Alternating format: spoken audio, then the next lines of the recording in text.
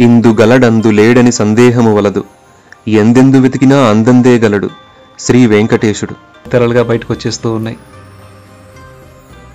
ఇదిగోనండి రావాల్సిన చోటికి రావాల్సిన సమయానికి వచ్చేసాం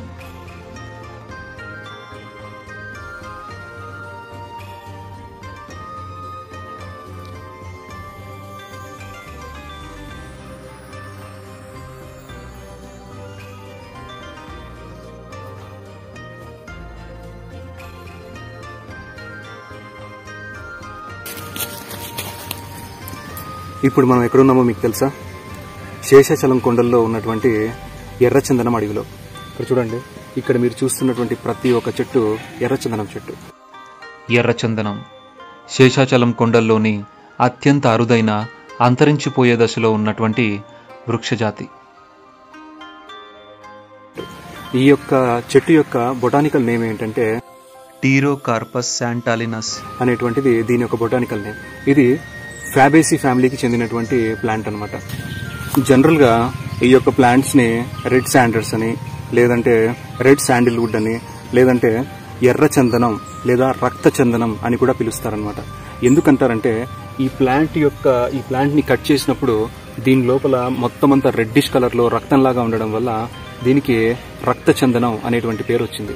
ఈ చెట్టు కేవలం ఈస్టర్న్ గాడ్స్ లేదా తూర్పు కనుమల్లో మాత్రమే కనిపిస్తుంది అనమాట వేరే ఎక్కడా కూడా ఈ చెట్టు కనిపించదు. కారణం ఏంటంటే ఇక్కడ ఉన్నటువంటి ప్రత్యేకమైన మట్టి వల్లే ఈ యొక్క ప్లాంట్స్ ఇక్కడ పెరుగుతున్నాయి. మనం గమనిస్తే ఈ ప్లాంట్స్లో మన ఈ యొక్క ప్లేస్లో మనకి ఫెర్రోజీనియస్ క్వాడ్జైట్ అనేటువంటి రాక్ చాలా ఎక్కువగా కనిపిస్తుంది. దాంతోపాటు ఫెర్రోజీనియస్ షేల్స్ కూడా ఉన్నాయన్నమాట.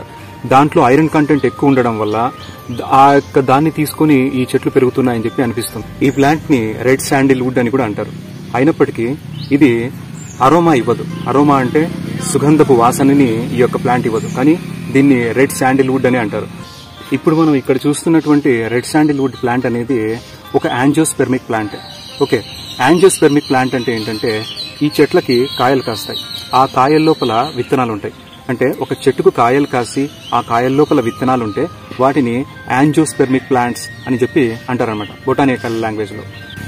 అట్ ప్రజెంట్ ఈ ప్లాంట్ యొక్క స్టేటస్ ఐయుసిఎన్ ప్రకారం ఐయుసిఎన్ అంటే International Union for Conservation of Nature and Natural Resources ప్రకారం ఈ ప్లాంట్ ఎండేంజర్ కేటగిరీలో ఉందన్నమాట.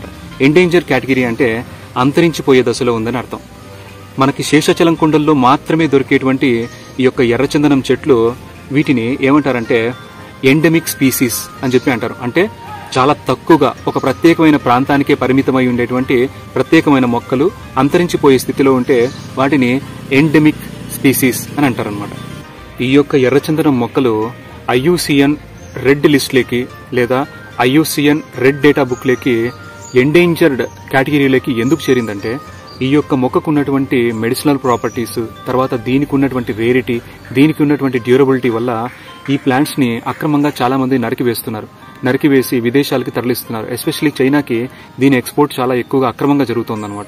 అందువల్ల ఇండియాలో రెడ్ శాండిల్ యొక్క ఎక్స్పోర్ట్ అనేది స్మగ్లింగ్ కిందకి పరిగణించబడుతుంది. చైనాలో ఈ యొక్క రెడ్ శాండిల్కు ఉన్నటువంటి డిమాండ్ ఇప్పటిది కాదు. సిక్స్టీన్త్ సెంచరీ నుంచి అంటే క్వీన్ డైనస్టీ ఎప్పుడైతే ఉందో అప్పటి నుంచి కూడా ఈ రెడ్ శాండిల్కి సంబంధించినటువంటి డిమాండ్ చాలా ఎక్కువగా ఉందన్నమాట చైనీస్లో. దీనికి ఎవిడెన్స్ ఏంటంటే మనం కింగ్ డైనస్టీ టైంలో నిర్మించినటువంటి బీజింగ్లో ఉన్నటువంటి ఫర్బిడన్ సిటీ అనేటువంటి దాంట్లో లోపలికి వెళ్ళి చూస్తే మాక్సిమం ఆర్టిఫాక్ట్స్ అన్ని కూడా మనకి రెడ్ శాండిల్తో తయారు చేసి ఉంటారు. దాంతోపాటు మనం చైనా ఫ్లాగ్ను కూడా గమనిస్తే maximum it is made up of with red colour ఎందుకంటే that is a communist country communist యొక్క కలర్ కూడా రెడ్ కలరే కాబట్టి వాళ్ళకి ఎర్రచందనం అంటే చాలా ఎక్కువ ఇష్టం అని కూడా ఒక విధంగా అనుకోవచ్చు. చైనాలో ఎర్రచందనంకి చాలా డిమాండ్ ఉంది. కారణం ఏంటంటే క్వింగ్ డైనస్టీ టైం నుంచి కూడా ఎర్రచందనంని వాళ్ళు ఒక అదృష్టంగా భావిస్తారు. అందుకనే వాళ్ళ ఇంట్లో కనీసం ఒక చిన్న బొమ్మ అయినా సరే లేదంటే ఏదైనా చిన్న ఫర్నిచర్ అయినా సరే ఏర్పాటు చే- ఎర్రచందనంతో చేసింది ఏర్పాటు చేసుకోవాలా ఉంచుకోవాలా అనుకుంటారు. అందువల్ల ఈ ఎర్రచందనంకి చాలా డిమాండ్ ఏర్పడింది.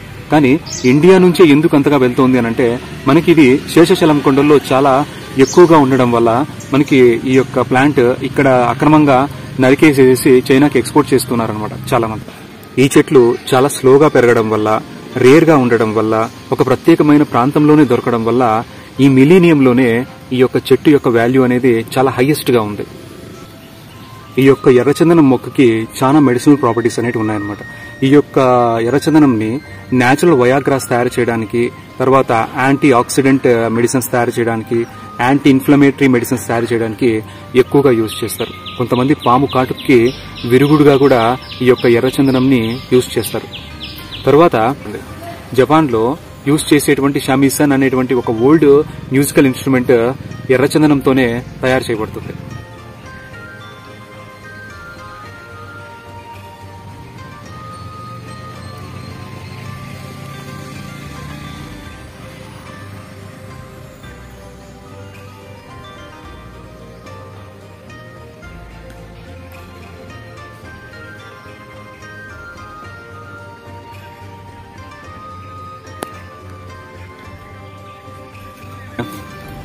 మనం కడప జిల్లా తర్వాత చిత్తూరు జిల్లాలో మరొక విషయాన్ని గమనిస్తే ఎద్దులకి వ్యవసాయం చేయడానికి ఎద్దులకి కాడ కడతారు కదా? ఆ కాడలు కూడా చాలా వరకు ఎర్రచందనం దుంగలతోనే తయారు చేశారు. ఎందుకనంటే ఈ యొక్క చెట్టు చాలా జంపుగా పొడవుగా ఉంటుందన్నమాట.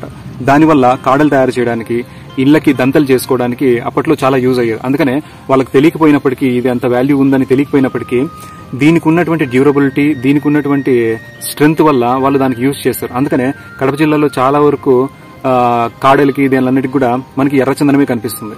ఇప్పుడు కాడలు అవన్నీ ఏం లేవనుకోండి కానీ అప్పట్లో ఉన్న వాటికి ఎర్రచందనాన్ని చాలా ఎక్కువగా యూజ్ చేస్తారు ఈవెన్ కొన్ని కడప జిల్లాలో కొన్ని ఓల్డ్ హౌసెస్లో మనకి ఇప్పటికీ ఎర్రచందనం మనకి మనం చూడొచ్చు. ఈ ఎర్రచందనం సంబంధించి ఒక ఇంట్రెస్టింగ్ స్టోరీ ఇప్పుడు మీకు చెప్తాను. ఏంటంటే కడప జిల్లాలో కొన్ని సంవత్సరాల కింద ఒక ముసలాయన ఒక వంద సంవత్సరాలు కట్టే ముందు కట్టినటువంటి ఇంటిని కూల్చేసేసి కొత్త ఇల్లు కట్టాలనుకున్నారు. అప్పటి కాలంలో చాలా మంది రైతులు తర్వాత పల్లెల్లో ఉండే వాళ్ళు కొండలకి ఆ చెట్లు నరుక్కొని వచ్చి వాళ్ళు ఇంట్లోకి దంతాలన్నీ వేసుకుని పైన సౌడు వేసుకుని ఇల్లు కట్టుకునేవాళ్ళు. అలా కట్టుకున్నటువంటి మేడని మొత్తం కూల్చేసి కొత్త ఇల్లు కట్టాలనుకున్నాడు. అప్పుడు దాంట్లో ఉన్నటువంటి దంతలన్నింటినీ కూడా తీసి చూస్తే అవి ఎర్రచందనంతో చేసినటువంటి దంతలు అనమాట ఆ కాలంలో ఇది ఎర్రచందనం అని తర్వాత దీనికి ఇంత ప్రైజ్ ఉంటుందని చెప్పి వాళ్ళకి తెలియదు. కానీ వాళ్ళకి తెలిసింది ఏంటంటే ఆ చెక్క చాలా మన్నికి వస్తుందని ఆ చెక్క చెద పట్టదు అని చాలా స్ట్రాంగ్గా ఉంటుందనేది అప్పుడు వాళ్ళ నమ్మకం.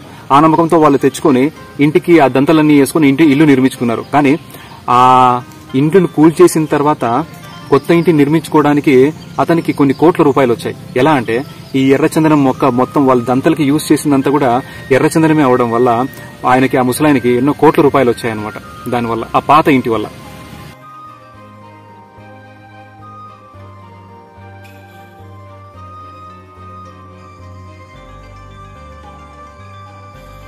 చూసారా?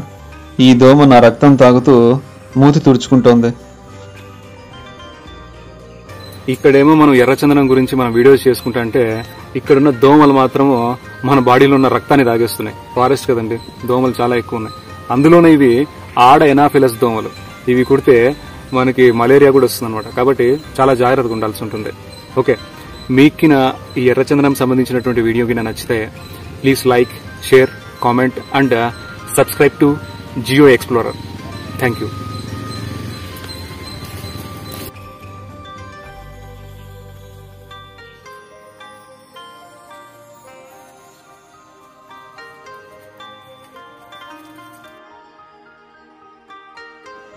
ఎంతవరకు ఎందుకొరకు ఇంత పరుగు అని అడక్కు.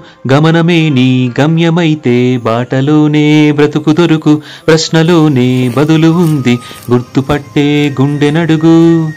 ప్రపంచం నీలో ఉన్నదని చెప్పేదాకా ఆ నిజం తెలుసుకోవా? తెలిస్తే ప్రతి చోట నిన్ను నువ్వే కలుసుకొని పలకరించుకోవా?